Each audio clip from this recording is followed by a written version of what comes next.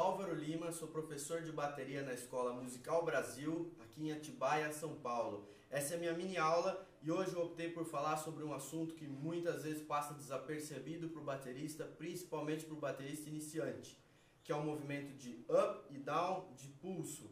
Tá? Hoje a gente vai ver da onde ele veio, como que a gente pode aprender a fazer esse movimento e como que a gente pode aplicar ele na bateria. Então vamos lá.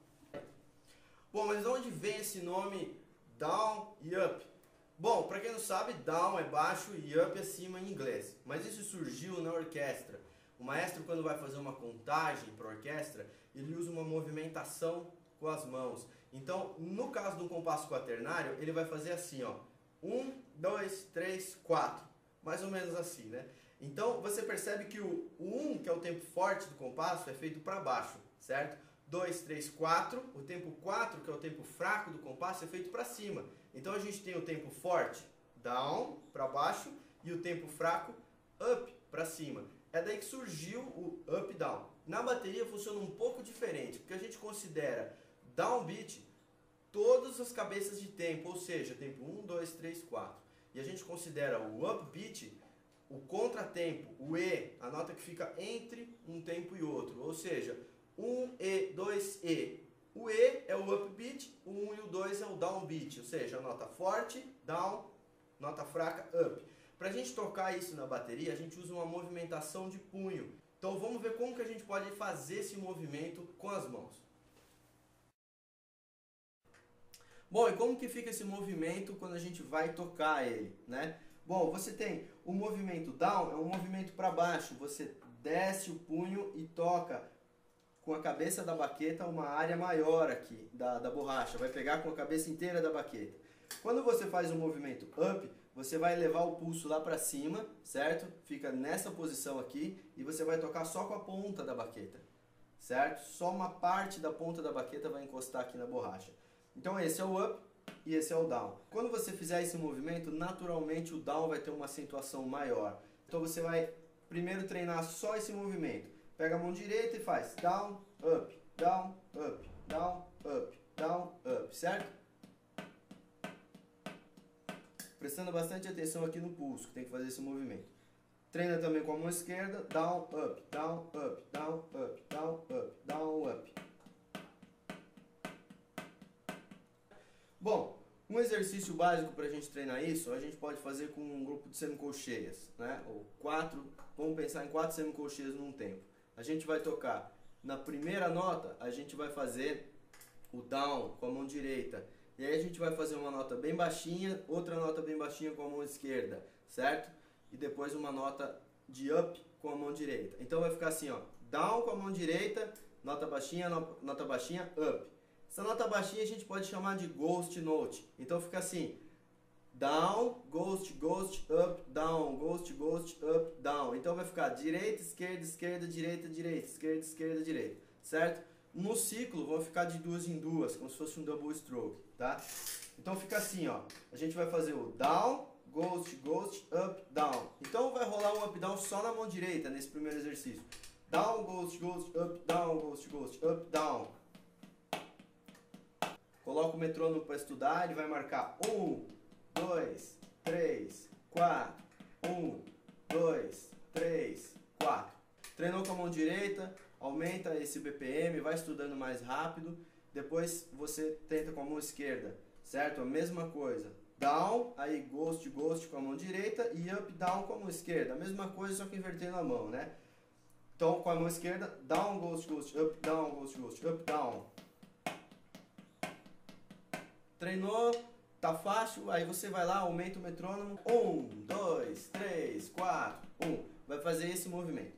Ficou fácil com a mão direita, ficou fácil com a mão esquerda, aí você vai tentar intercalar. Faz com uma mão, depois passa para outra sem parar. Pode fazer um, dois, três ou quatro compassos seguidos de cada um. Então vai ficar assim, por exemplo, um compasso de cada um, né? Um, dois, três, quatro. Um, dois, três, quatro. Um, dois, três, quatro. Um, dois, três, quatro. Um, dois, três, quatro. Então, mesma coisa, vai acelerando. Percebe que é, você tem que ter um movimento aqui, ó, constante no punho, que vai parecer assim, o movimento de uma cobra, assim, certo? É esse movimento que você tem que ter no, no punho quando você está tocando. Esse movimento vai deixar a sua acentuação, a sua levada mais fluida na hora de tocar. Bom, vamos ver como que isso fica lá na bateria. Bom, o movimento de up down vai te ajudar muito mais na questão dos acentos, né? A nota mais forte fazer com down, a nota mais fraca fazer com up, tá? Na hora da levada do groove, vai transformar o groove numa levada mais solta. Você fica mais à vontade, a banda fica mais à vontade, melhora tudo no geral, tá? Eu vou tocar um groove tocando sem fazer o up down e fazendo o up down para vocês perceberem a diferença. Sem o up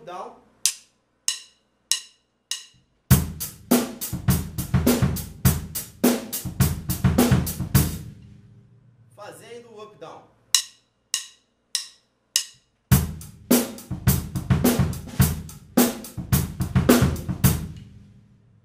Certo? O groove com o up down ele fica mais solto, tá? E daí eu sugiro você fazer assim: pega um groove, uma levada que você conhece e estuda ela fazendo o up down. Coloca o up down na levada e estuda ele bastante, prestando atenção aqui no movimento do pulso. No down ele vai pegar aqui na borda do chimbal, tá? Aí ele vai pegar aqui com o pescoço da baqueta. E o up vai pegar em cima do chimbal com a ponta da baqueta. Então você tem o down e o up. Vai fazer o down na cabeça do tempo, o up no contratempo, no E. Então vamos pegar uma levada qualquer e vamos treinar o, o up down.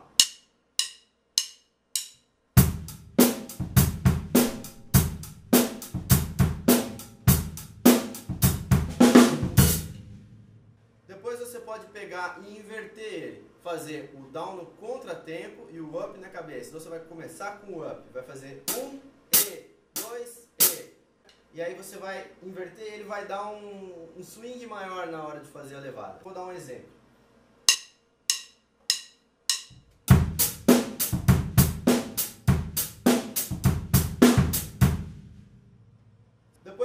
Estiver legal, você pode fazer invertendo, igual a gente fez lá na borracha. Toca o mesmo groove, fazendo o down na cabeça, o up no contra e depois inverte sem parar, faz o up na cabeça e o down no contra. O que, que, que vai acontecer na hora de tocar? Quando você acabar o groove, você vai fazer dois up para inverter e depois você vai fazer dois down para voltar no primeiro, certo? Então vamos lá, vou dar um exemplo disso.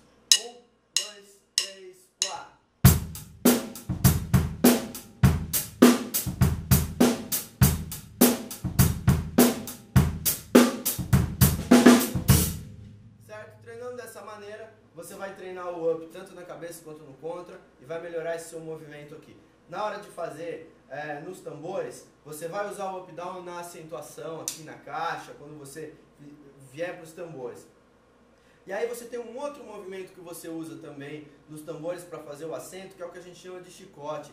É um movimento que vai estar tá baseado no up down, é mais ou menos a mesma coisa. Só que o down você toca no down e toca no up. O chicote você só levanta e desce a mão para dar uma nota só. Mas treinando o up down, você já de quebra está treinando esse movimento também do chicote, certo? Então você vai acabar tocando tanto o groove quanto as viradas mais soltos, mais bem acentuados, certo? Vou dar um exemplo de uma aplicação geral. Assim.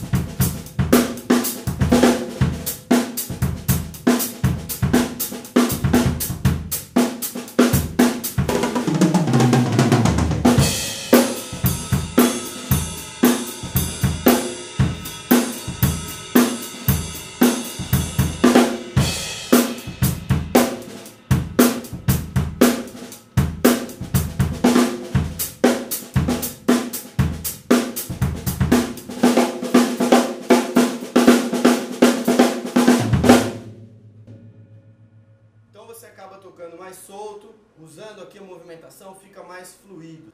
Bom, se você quiser conhecer esse movimento do chicote mais a fundo ou tiver outras dúvidas, você pode deixar um comentário, sugestões, críticas, que estou aberto aí a, a, a, ver todas as ideias, publicar mais vídeos, tirar suas dúvidas ou corrigir alguma coisa, eventualmente tenha falado de errado.